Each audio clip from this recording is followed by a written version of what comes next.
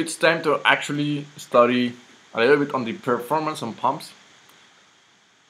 We will always analyze the efficiency. So how much work are you giving to the system and how much work are you expending? So for example, if you have an inlet of 100 joules of energy per second of electricity and you are only giving 80 joules per second of mechanical energy to the system, well, you have a 80% efficiency. That's normal actually, but you want to increase it. So the most you want to increase it the most possible. It is not possible to have 100% because it's because of the thermodynamics laws, especially the second law.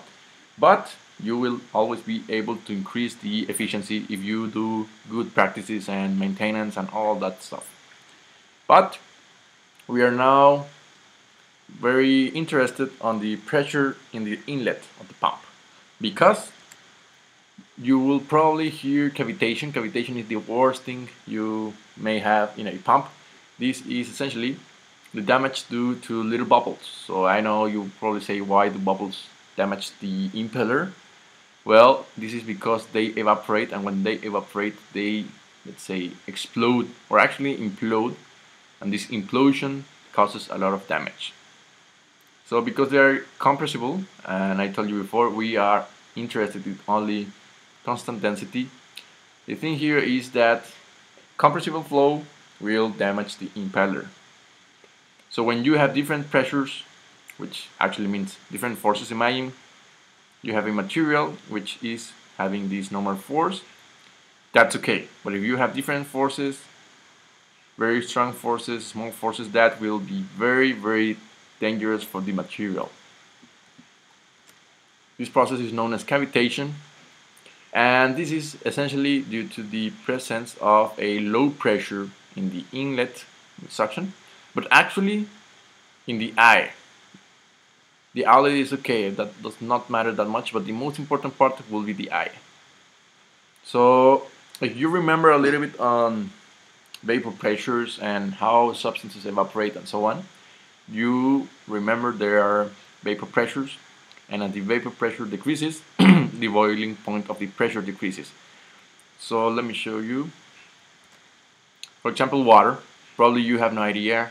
You haven't seen this more into the substance parts and thermodynamics.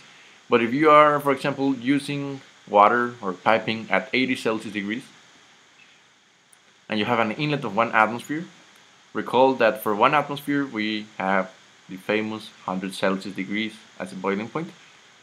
But there is another vapor pressure for 80 Celsius. What does that mean is, for example, 80 Celsius will be something like this. Let's say that 0.75 atmospheres will boil. Okay? So you have less pressure, you will have gas, definitely. So in the eye, if I tell you that this pump works in a way in which the inlet pressure of this fluid is one atmosphere, that's okay. But when you go inside the eye, you're going to have a pressure drop, which is very common. I'm going to explain you later. And in this pressure drop, you will have 0.5 atmospheres. But since the vapor pressure of this water at 80 Celsius degrees is 75 atmospheres, the water is going to evaporate and that's going to be very very bad for our uh, pump especially for the impeller because of the cavitation.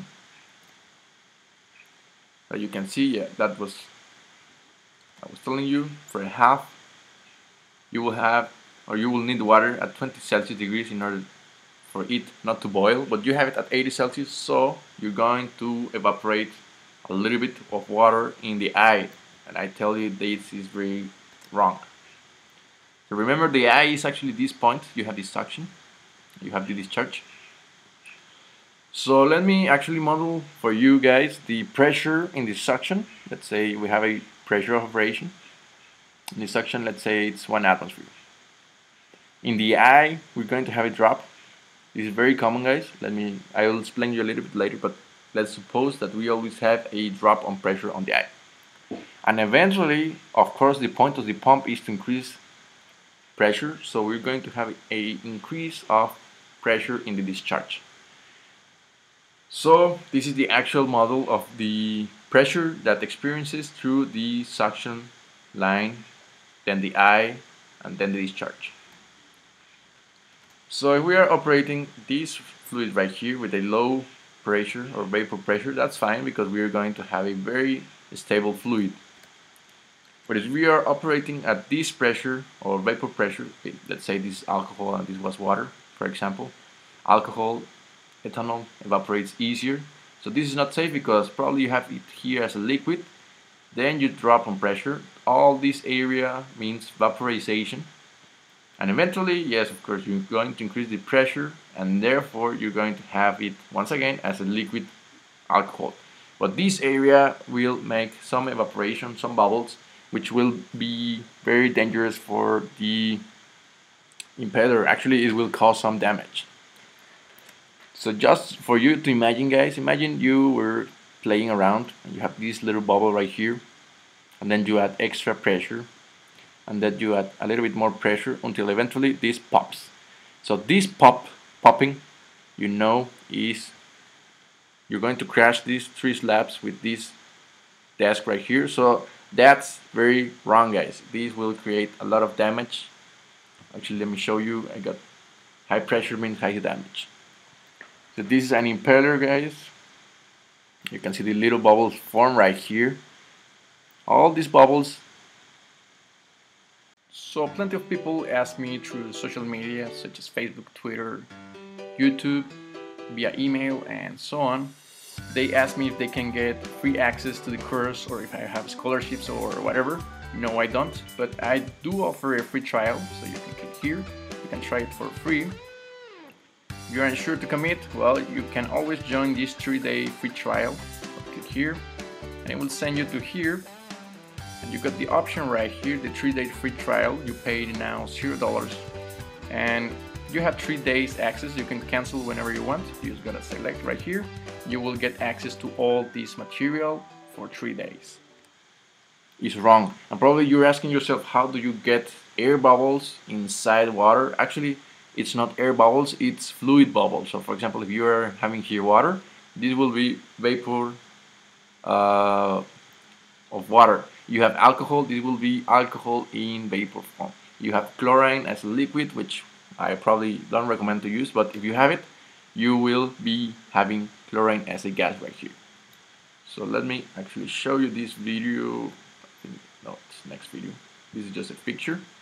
So in the next video, we're going to see a little bit on why do we form. When a submarine propeller turns quickly, an area of low pressure created on the blade. This lowering of pressure causes the water to boil without heating up exactly. and produces bubbles of steam. This is called cavitation. So let me explain it to you guys. Uh, wait for it. You had the impeller right here. Let's say in this case it's not a pump, but it's the same principle. You have the impeller, and because they start moving so fast, guys, you start generating, let's say for example, let me pause it right here. This moving through here and this moving through here. So actually you have a deficit of forces right here. You have a change of force. This force is let's say force let's say pressure pressure plus the change of pressure. And this has actually a pressure minus the change of pressure. So these guys are going to lower their pressure. And what does that mean? When you have low pressure you have low boiling points and when you have low boiling points means that if you achieve the temperature, you might even generate vapor pressures. So once again, this is not water, guys. Uh, sorry, this is not air. This is water bubbles. Just keep that in mind, guys. And look what cavitation does. So probably you weren't thinking little bubbles can destroy it, but actually yes, look how these little bubbles start. And this is not rusting, this is no uh, let's say because of the salt water or salt this is due to cavitation. So you gotta calculate the actual velocity at which you will not generate these little bubbles. This is strong cavitation. You can see here, these are bigger bubbles right here. Here there's a little bit. Normally you have cavitation on this side. On the other side you have not. Uh, let's say you don't have this little bubble damage. So just keep in mind guys that you need to avoid cavitation. Once again sorry I, didn't tell you you could check this go to this video. This guy explained you pretty well how cavitation work and how can we avoid that. And actually this is from I don't remember which channel also but they were talking about how to avoid these little bubbles because these little bubbles can be detected by the enemy and then you are going to be let's say shown or you will be discovered. And cavitation not only makes damage to the impeller which is right here it can also make a little bit damage or in this case a lot of damage in the housing. So you have the housing of the centrifugal pump right here. This is the inlet. This is the outlet. And probably this let's say this was the impeller and they took it out but not only the impeller has cavitation you can see the cavitation or damage right here in the wall of this uh, centrifugal pump housing. So moral of the story let's avoid cavitation and we will see how to calculate cavitation and how to avoid it. This was a free preview. You want to get full access go to my incompressible flow course. The link is in the description of the video.